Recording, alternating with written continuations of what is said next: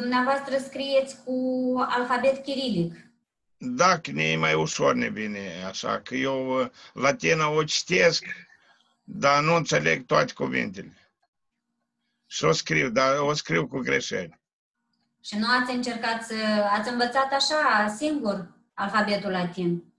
Da, da, nu, nu am fost nici o școală, nici n-am trecut. Unde mă duc să scriu o cerere, eu scriu în chirilic, eu îmi cer iertare, că câte le explic și pe urmă scriu, îmi dau voie. Dar, în general, vorbiți în rusă cu feciorii dumneavoastră sau în română? Nu, în limba moldovenească. Dar uh, e moldovenească sau e română limba în Republica Moldova?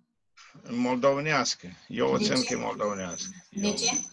Ro- colaborez, las să colaborez toată lumea, să crească în română. Românii sunt la România, moldovenii sunt Moldova.